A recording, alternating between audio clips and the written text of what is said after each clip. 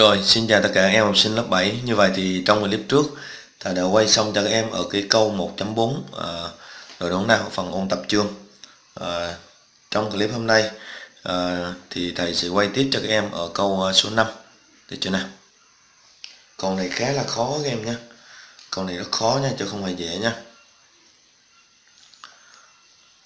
Người ta yêu cầu các em là tìm xy biết x bình cộng y bình trên 10 sẽ bằng là x bình trừ 2 y bình trên 7 và x mũ 4 y mũ 4 thì bằng 81 đây là thể tích này khi người ta cho như này chắc chắn chúng ta phải áp dụng cái tính chất của dạy tỷ số bằng nhau rồi. Rồi bây giờ chúng ta phải khôn khéo và áp dụng như nào để cho chính xác ấy. ở đây các em thấy rằng là ờ, nó không phải là xy mà nó là mũ 2 mũ 2 mà đây là mũ 4 có đúng như nào? Thì các em nhìn vào thì các em sẽ rất là rối.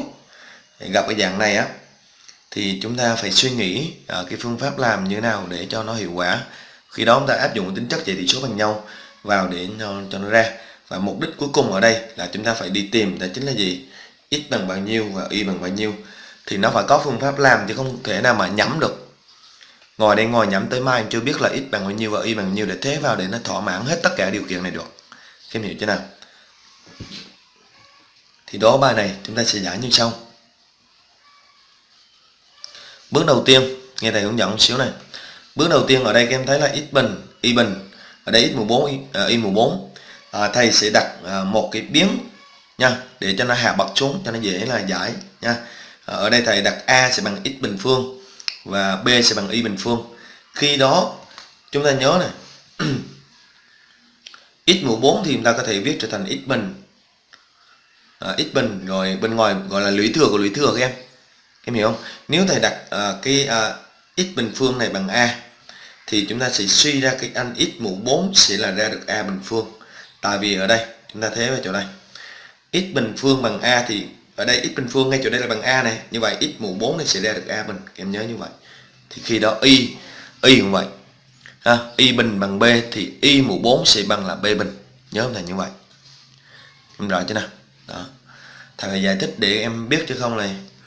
Uh, những cái cái về lý thừa nó rất là cơ bản như vậy nhưng mà chúng ta không nắm cơ bản thì cũng không biết được. Đặt x bình uh, ờ, bằng a và cái điều kiện của chúng ta. Uh, thì theo cái khái niệm căn hai thì a này phải là số không âm. Không âm nghĩa là a này phải lớn bằng không. Uh, y bình là bằng b thì b này cũng sẽ là không âm. Nếu mà ra số âm thì các em sẽ loại ngay. Em hiểu nào? Khi đó cái từ cái đề bài này thì ta sẽ viết trở thành này ta có này x bình cộng y bình thì thầy sẽ viết trở thành x bình thầy thế bởi a y bình thầy thế bởi b. Trên 10 à, ờ, a trừ cho 2b trên 7 và ờ, a mũ 2 nhân b mũ 2 thì bằng 81 đó. Rồi bây giờ thầy ờ, sẽ để lên đây. Cho nó dễ viết em nãy hợp hợp giấy thì rất là khó viết. Được chưa nào? Đó ok bây giờ chúng ta sẽ giải nha. Bây giờ chúng ta sẽ tiến hành áp dụng cái tính chất giải tỷ số bằng nhau đối với anh này này. Chứ còn anh đây tí nữa để ra được a bằng bao nhiêu, b bằng nhiêu, chúng ta thế ở đây để game giải ra nè. Hiểu chưa? Áp dụng cái tính chất của dãy tỷ số bằng nhau. Ta có áp dụng vô đây như vậy ta có a cộng b. Trên 10 sẽ bằng a trừ 2b trên 7 được chưa? Bây giờ thầy à, muốn triệt tiêu a. Nó chỉ còn b thôi. Mà ở đây em thấy a này. Mà đây a. Thì bây giờ không thể cộng được. Cộng thì cộng lại thành 2a sao em? Nếu các em lấy tử cộng tử mẫu cộng mẫu thì nó không thể triệt tiêu a được. Em hiểu chưa nào? Mà mục đích của thầy là muốn triệt tiêu a để nó còn là cái b này. Ok? À, như vậy thì à, không thể cộng thì chúng ta sẽ tiến hành trừ. Em hiểu chưa nào? Em lấy a cộng b chúng ta trừ cho a trừ 2b ở đây. Thì dưới mẫu các em sẽ lấy 10 trừ 7 như vậy thì ở đây chúng ta sẽ bỏ, bỏ ngoặc ra. A cộng b bỏ ngoặc ra trừ. Lưu ý dấu trừ trước dấu ngoặc bỏ ngoặc phải đổi dấu nha. Trừ a. Trừ với trừ này thành cộng 2b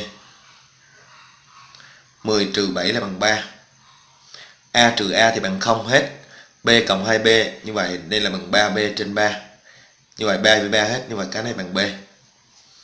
Như vậy anh này bằng anh này và bằng đúng là cái B này. Hiểu chưa? Cái thứ nhất. Cái thứ hai thầy lại tiếp tục áp dụng cái dãy tỷ số bằng nhau à, cũng ở anh này nhưng ở đây thầy muốn triệt tiêu B. Muốn triệt tiêu B mà ở đây các em nhìn này. Ờ, thầy muốn triệt tiêu B mà ở đây B mà ở đây là âm 2B chứng tỏ thầy muốn có số 2 đang đây nữa thầy triệt tiêu được chứ nữa thầy sẽ nhân tử cho hai và cho mẫu cho hai em nhé. Đối với cái anh này thầy sẽ nhân hai. Tại sao nhân hai? Mục đích của thầy là để triệt tiêu cây B này. Hiểu chưa nào? À, chúng ta có là A cộng B trên 10 thầy sẽ nhân 2 vô thì ra được 2A cộng 2B trên cho 20 thầy nói là ở đây thầy nhân 2 đây nhân 2 trên tử này nhân 2 với mẫu này nhân 2 các em hiểu nào? Thì nó cũng bằng bằng đúng với anh đây. A trừ 2B phần 7 được chưa? Tiếp tục là áp dụng tính chất dạy tỷ số bằng nhau. À, bây giờ ở đây á các em thấy cộng 2B và trừ 2B là hai số đối nhau. Chứng tỏ chúng ta nên cộng lại. Lấy anh tử này cộng tử này thì 2b trừ 2b này sẽ bằng 0 còn 2a cộng a thì sẽ bằng 3a lấy 20 cộng ra 7 đúng không nào? Như vậy em lấy 2a cộng 2b cộng a trừ 2b trên 20 cộng 7 thì cái này sẽ bằng 2b trừ 2b hết. 2a cộng a là bằng 3a trên 27 à, 7 rút gọn với à, 3 với 27 chúng ta rút gọn chia 3 chia 3 thì ở đây là a phần 9 thì đúng như nào? Như vậy thì từ đó các em thấy à, cái điều gì? Các em thấy là a cộng a cộng b trên 10 thì nó bằng b. Mà a cộng b trên 10 nó cũng bằng là a phần 9 chứng tỏ b sẽ bằng a phần 9 các em ký hiệu thầy đây là một đi ở đây là hai nha. Các em ghi tại là từ 1 và 2 chúng ta suy ra. Các em hiểu nào? Ờ, à, anh này thì bằng anh này. Anh này cũng bằng anh này. Coi như cái này là cái cầu thì chứng tỏ b sẽ bằng a phần 9 a phần 9 sẽ bằng b hay nói b là sẽ bằng a phần 9 các em hiểu không? Hiểu chưa? Nên từ đây thầy sẽ suy ra. A sẽ bằng lấy 9 nhân chéo lên đây theo tỷ lệ thức. 9 nhân chéo lên đây ha bằng 9b được không? Các em ký hiệu thầy này là 3 à, vì à, A bình nhân B bình của chúng ta là bằng bao nhiêu? Bằng 81 đúng không? Các em ghi thầy là thế. À, A bằng 9B vào vào đây này.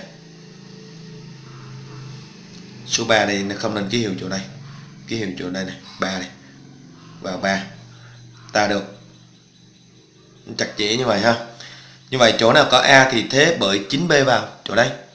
Như vậy thì ở đây chúng ta sẽ thế trừ bởi 9B phương nhân B mũ 2 ở đây bằng 81 thì từ đây chúng ta sẽ suy ra được B này, ha. Như vậy 9B đây là 81 99 81 B bình. Nhân B bình sẽ bằng 81 đúng không? Như vậy ra từ 81 B bình nhân B bình thì bằng B mũ 4 bằng 81 suy ra B mũ 4 lấy 81 chia 81 thì bằng 1 B mũ 4 bằng 1 nên từ đây chúng ta suy ra B này sẽ bằng mấy? B bằng 1 vì ở đây chúng ta lấy cái giá trị đó chính là B lớn bằng 0 Nghe chúng ta không lấy âm. À, nếu mà ngay chỗ đây không có điều kiện á thì B ở đây có thể bằng 1 hoặc là bằng âm 1 thế chỗ đây nó đều đúng. Nhưng ở đây cái điều kiện chúng ta là đặt trước là B lớn bằng 0 chứng tỏ chúng ta chỉ việc lấy số số dương cho B bằng âm 1 chúng ta loại. Em hiểu chưa? Loại luôn. Nên từ b bằng 1 thì từ đây chúng ta suy ra a sẽ bằng bao nhiêu? Thế ở chỗ đây thế ở chỗ đây này. Suy ra a sẽ bằng 9b thì bằng 9 nhân 1 thì sẽ bằng 9 như vậy à, a bằng 9 và b sẽ bằng 1 thì bây giờ à, ta có chúng ta gọi à, a là bằng x bình. x bình phương thì bằng a mà a là bằng 9 này y bình phương bằng b à, thì bằng ở đây bằng 1 có đúng không? Nên từ đây chúng ta sẽ suy ra. X bình bằng 9 thì suy ra x này sẽ bằng là gì? X là bằng gì em? X bằng cộng trừ 3 à, y này sẽ bằng 1 y bình sẽ bằng 1 thì y sẽ bằng cộng trừ 1 nó có các cái giá trị nó tương ứng như vậy em. X sẽ bằng hai giá trị là cộng trừ 3 và y sẽ bằng uh, hai giá trị là sẽ bằng cộng trừ 1 nó đều thỏa mãn. Là chưa nào? Đây nghe. Như vậy chúng ta vừa giải xong ở cái bài này. Bài này khá là khó ha.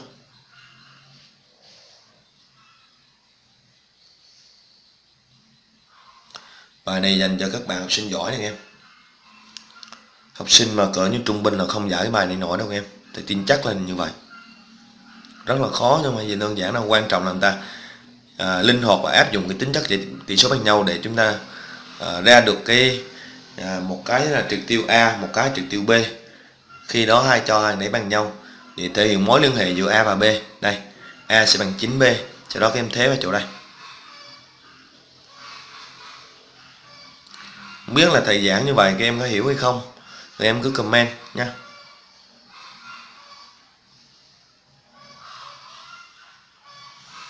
rồi như vậy kết bài cuối cùng này. Các em nha. Như vậy thì um, clip hôm nay tới đây là kết thúc em. Trong clip tiếp theo thầy sẽ quay tiếp cho em ở câu số 6 và câu số 7 chúc em học tốt bye bye nha.